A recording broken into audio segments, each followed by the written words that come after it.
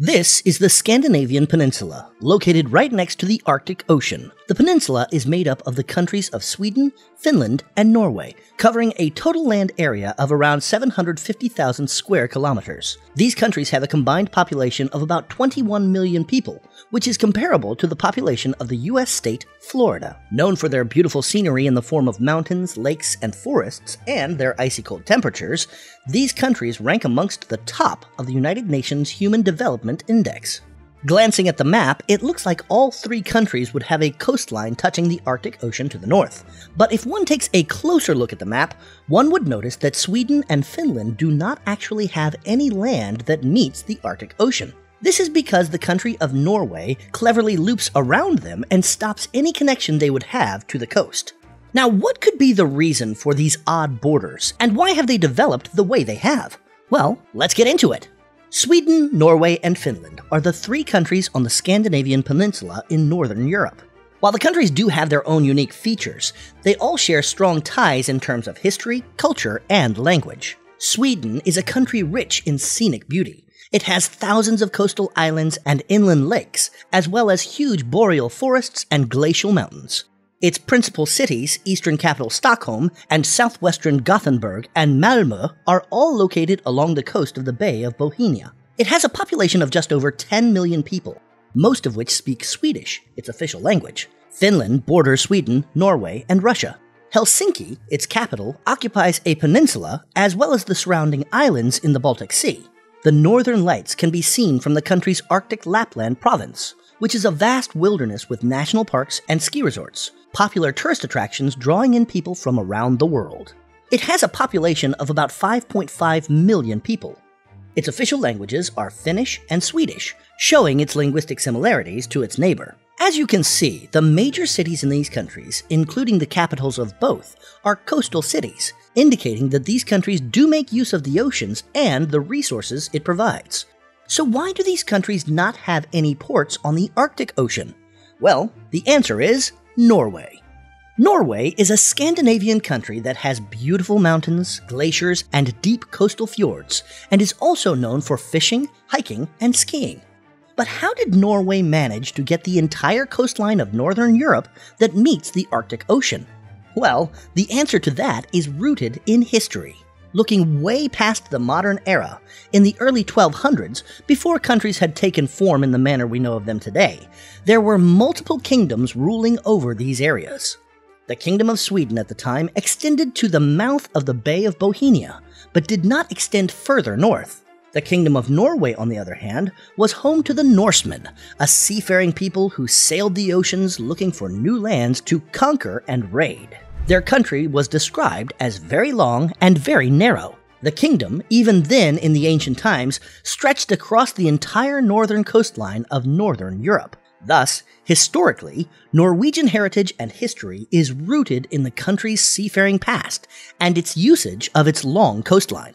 Moving forward in time a few centuries, the landscape of the region has changed again. While the coast of what is now known as Finnmark country of northern Norway contained pockets of Norwegian settlements, the region was overall very sparsely populated, and the people who lived here were mostly Samis, who were not considered citizens of any country and paid taxes to Norway, Sweden, and Russia. For a long time, there simply wasn't any actual border to speak of, Norway stopped on the coast of what is now Tromsø, and Sweden, which at the time included Finland as well, ended by the coast of the Gulf of Bothnia. The whole region in between simply was not considered part of either nation until the modern era. Then came Christian IV, the ruler of Denmark Norway, which was a combined kingdom in the late 1500s.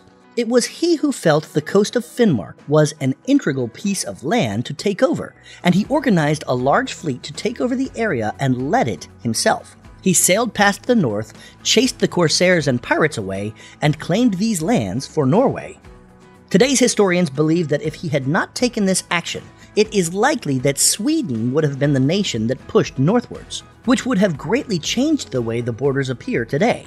However, Christian's decisive actions meant that Norway claimed that land as their own, and a century later, in 1751, the borders between Norway and Sweden were agreed on for good. This pretty much explains why Sweden doesn't open up into the Arctic Ocean. But what about Finland? Well, during most of history, the area that is considered Finland today actually came under Sweden. The eastern portion of the medieval and early modern Swedish kingdom is what would be known as Finland today.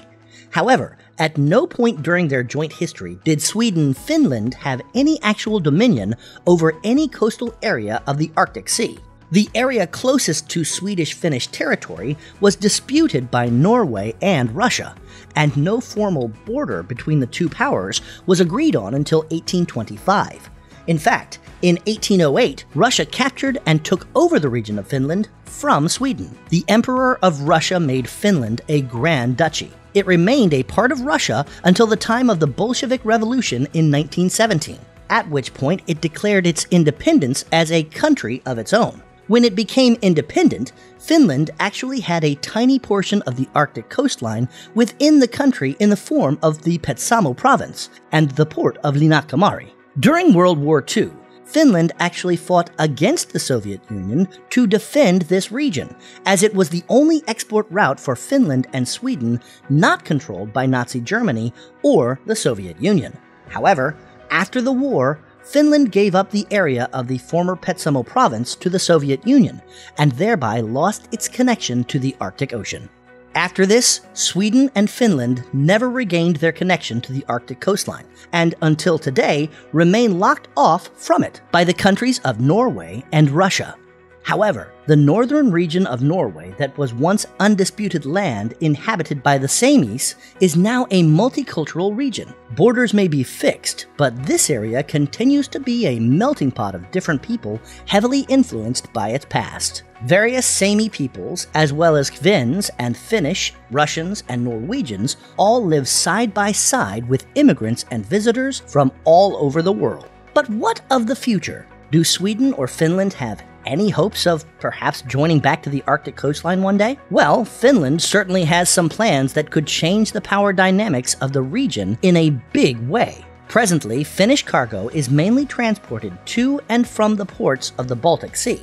Before the war on Ukraine, Finnish trains ran to the east all the way to China through Russia. Access to the Arctic Ocean is limited to the narrow roads through Norway which are not qualified for the Trans European Transport Network, which are the major transport corridors in Europe. To create new avenues for transport, and in the hope of gaining access to the potential flow of goods along the Northern Sea Route, the Finnish and Norwegian governments announced plans in 2018 to move ahead with building a railway that would connect Finland with Norway and Russia and their deep water ports on the Arctic coastline.